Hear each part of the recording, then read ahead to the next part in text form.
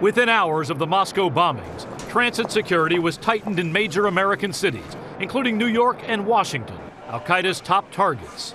Security officials called the show of force precautionary, stressing there is no current threat against U.S. transit.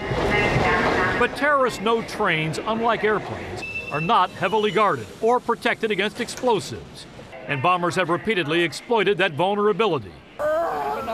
Madrid in 2004, London in 2005. And while there's not been a rail attack in America, Najibullah Zazi was in the final stages of plotting to bomb New York subways. He was grabbed by the FBI last fall. There's no perfect solution to securing metros or trains, and I think uh, terrorists are going to continue to poke at that vulnerability uh, when they get the chance. In the Midwest, it was a different domestic threat that had the FBI scrambling.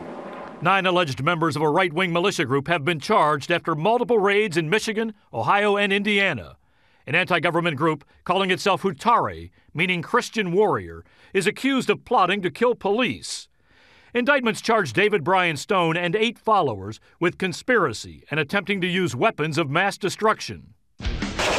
Videos posted on Hutaree's website show heavily armed camouflage fighters practicing with assault rifles.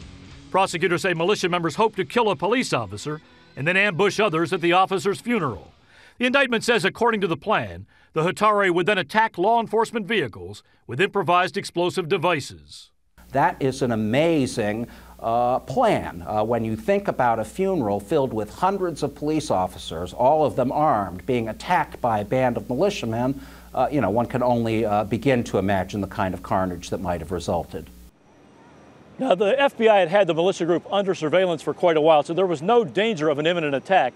But officials are very worried about the dramatic increase in the number of militia groups across America. The number has tripled to 127 in the past year alone. Katie? And Bob, getting back to rail security, as we heard in your piece, it's so difficult to make trains and subways safe. What can be done?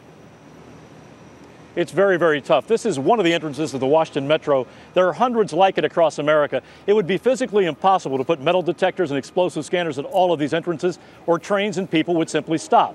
Security depends on the randomness of the police actions and also intelligence, and that's how we've caught people in the past. Katie? All right, Bob Orr in Washington. Bob, thank you.